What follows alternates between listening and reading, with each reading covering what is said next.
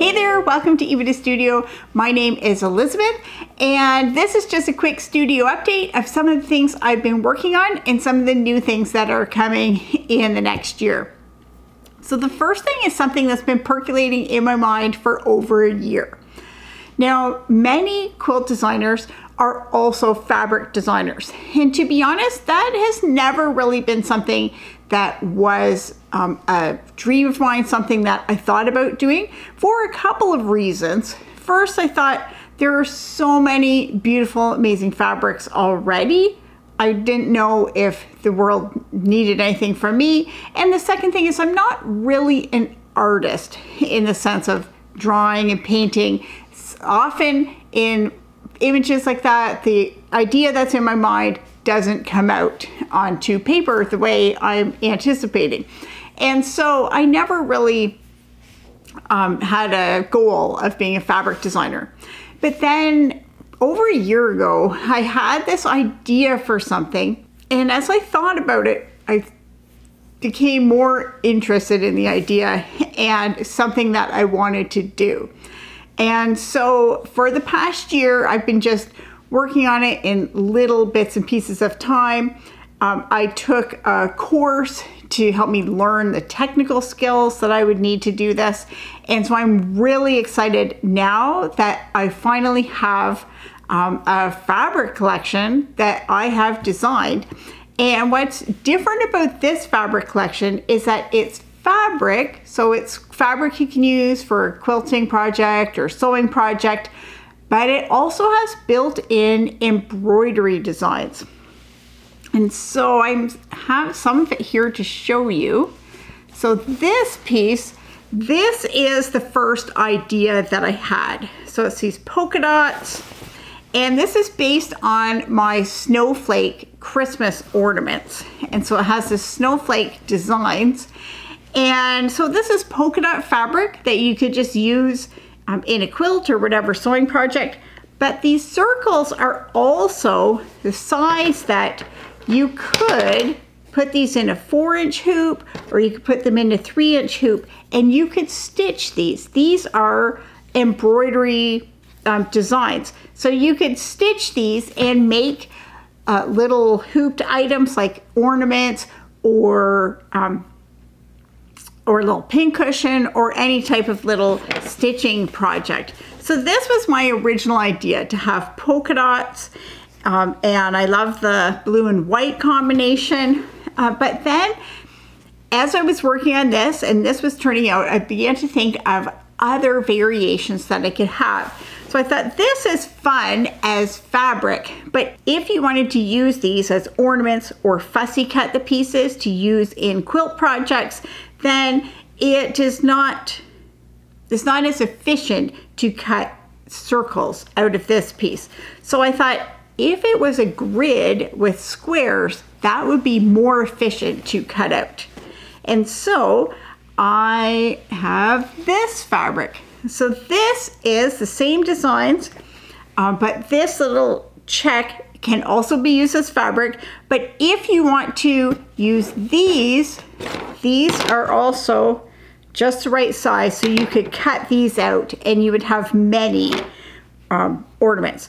Also, these squares are four and a half inches square. So if you want to do fussy cutting to use these in a quilt project, then it's just the right size to finish at four inches.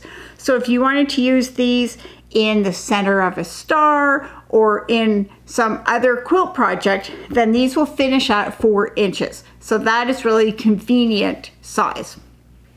And also this looks great as fabric as well. So I was happy with that one. And then I had another idea to do a variation on that. So this is a similar one, but this has more tile designs. So this again, it could be used as fabric. You could um, put the little pieces in hoop or you could fussy cut. There's a lot of things you can do. It just looks a little bit different. So that one turned out nicely too. Then I took just my snowflake designs and I made just yardage fabric. So this coordinates, it's a similar colors. Um, but it's just the snowflakes. And so I have this available with different backgrounds. So this is the dark blue background and I have medium, light blue, and then a gray background. So this is coordinating if you wanted to do a quilt project, then you could use um, this fabric with that. And then um, I was thinking about having bigger embroidery designs besides just the small tiny ones. So I have a couple of those options too. So this is a fat quarter and you can see that the fat quarter has four little pieces and these um, the little circles in here are just a guide. These are about six and a half inches square. So that means you could use this in a bigger hoop. You could make a hoop to hang on the wall or you could use this also to fussy cut for in a quilt project um, in a bigger piece. Um, so that is another option. There's a lot of options you could do with this. So the fat quarter comes with four options. So you could uh, make a piece to hang on the wall that would coordinate with Christmas tree ornaments or use them in a quilt. Um, there's a lot of things you can do with that. And then the last one I have is this is a fat quarter and this is a single fat quarter with a single design. And so this could be used for a large hoop. This could be a 12 inch hoop or it could also be um, fussy cut for a quilt project, or this would be a really nice size to make a cushion. So you could make a cushion or pillow to coordinate with your uh, pieces to hang on the wall, to coordinate with your um, Christmas ornaments. Um, and so these all could be just used as is, or you could hand stitch on the snowflakes just to add extra texture to it. And so I'm really um, excited that I have this fabric now and I have to start stitching on it to make some projects. So this is available at Spoonflower. So it's um, custom printing. So if you're interested in it, I have the link below. You can check and go see what they have. And you can order even just a fat quarter. Um, and so it seems like uh, nice quality fabric and I'm really, really happy with how it turned out. And I'm gonna be um, doing some stitching on this.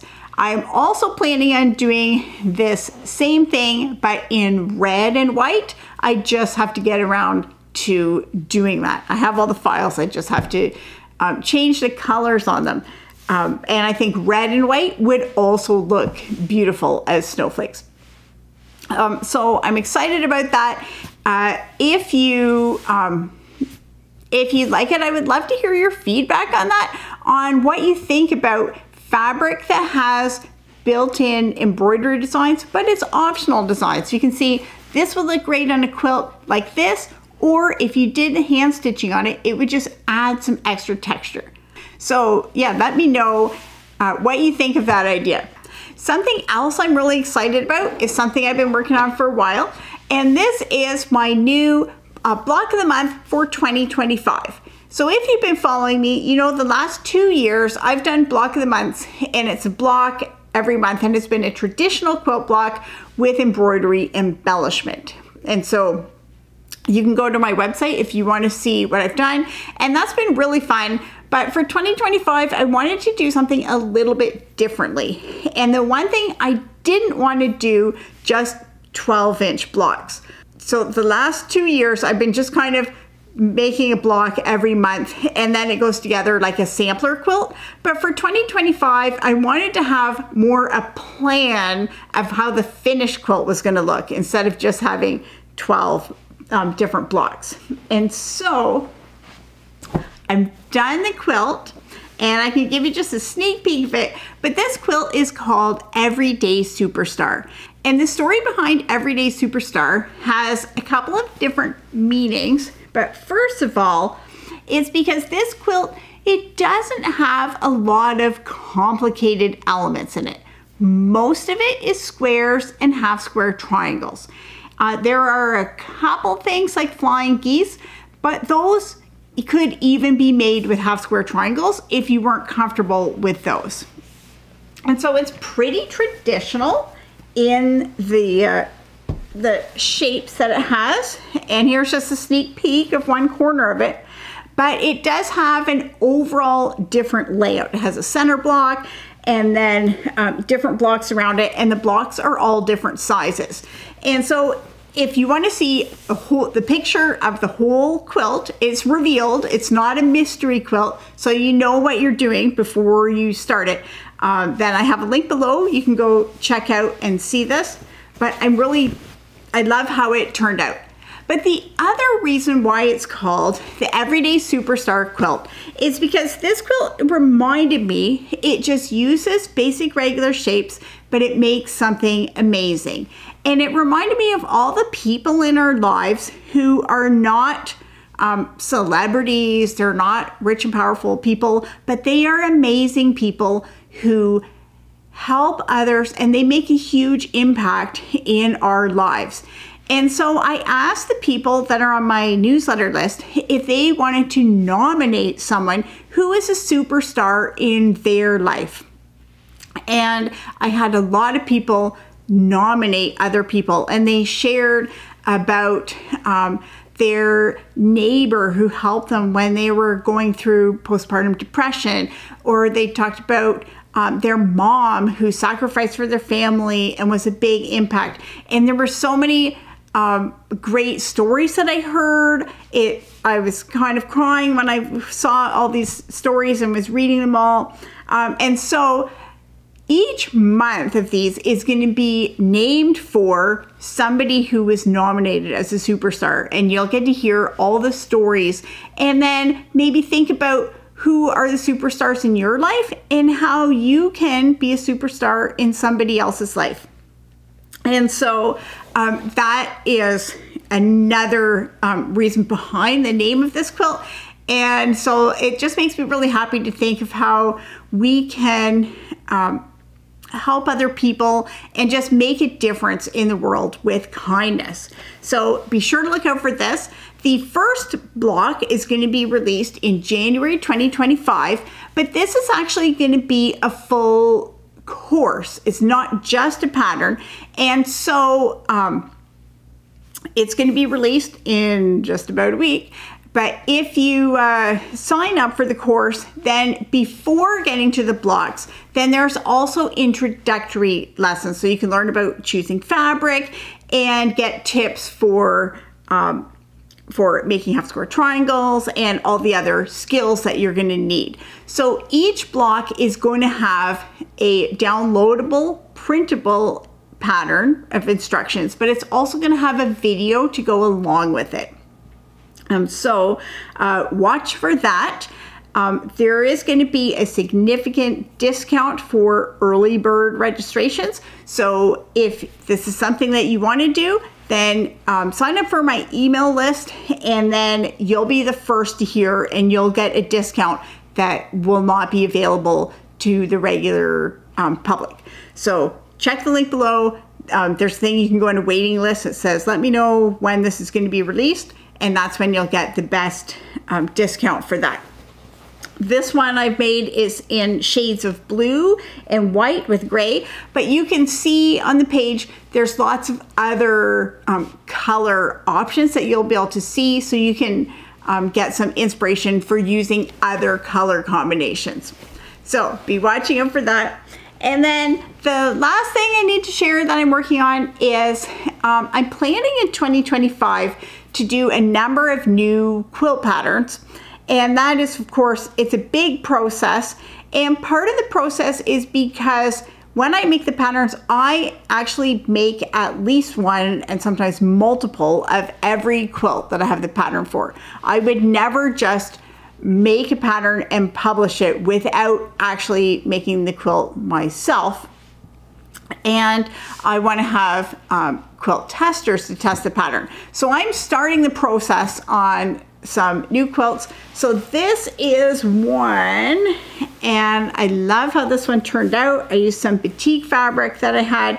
It's quite large. It's a pretty large um, quilt, so I think I'm gonna add some extra size options to the pattern because some people might not want something this big. And this one is called Friendship Trails. So you can be looking out for that. And also, if you're on my newsletter list, I'm going to be putting out another call for pattern testers so you can see what is involved in being a pattern tester and what you would get from being a pattern tester. Um, so, uh, yeah, so look out for that. If you're interested in being on my pattern testing list, then you can contact me. So um, I have so many things that I'm working on right now, and I'm really excited about coming up to the end of the year and what's going to happen in 2025. So if you have any questions about any of this, then um, drop a comment below and I'll happy to answer or you can send me a message. So thanks so much for joining me here in the studio and until next time, happy stitching.